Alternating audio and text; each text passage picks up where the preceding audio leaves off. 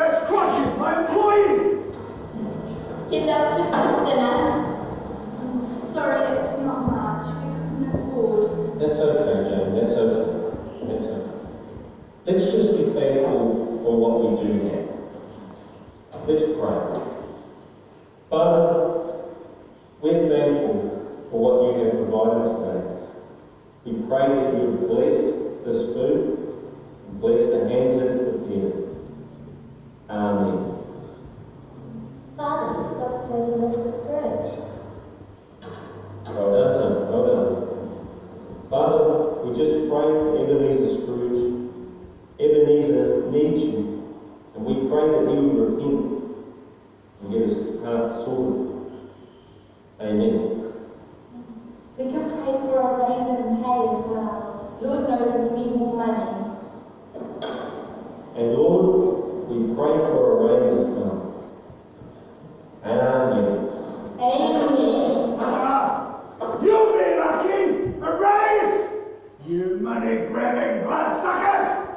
Spirit of it! Spirit! Sleep! Over there, let me sleep! Ah! Ah, Christmas! Ah.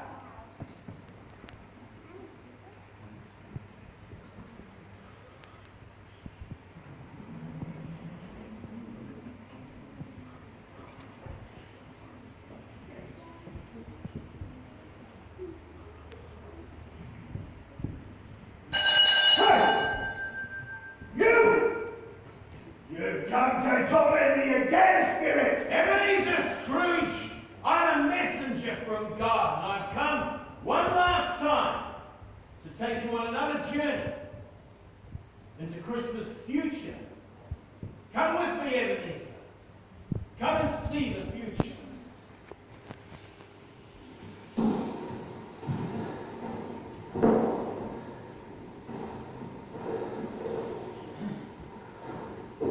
Spirit! These people are in. They're in mourning clothes. Someone has died, Spirit! Who's died?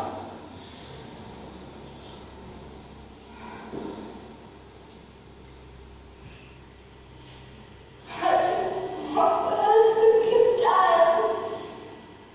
Don't dwell on it, Jamie. Time turns dead. We did, we, we did all we could.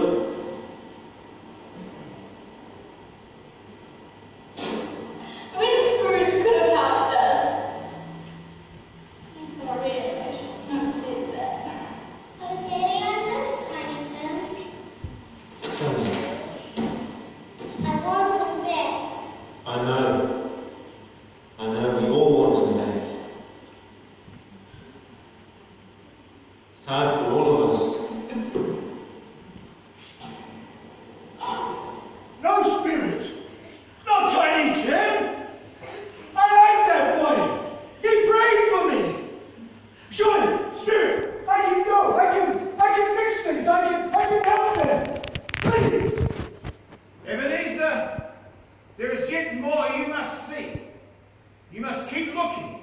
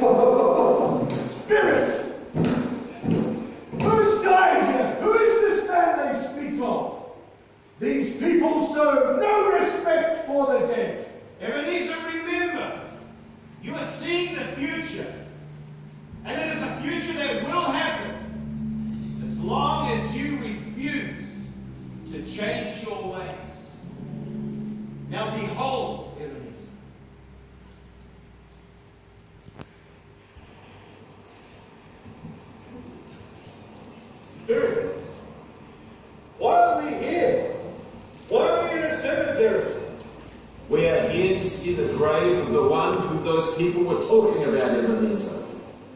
But who is that to me? Why do I care about this man?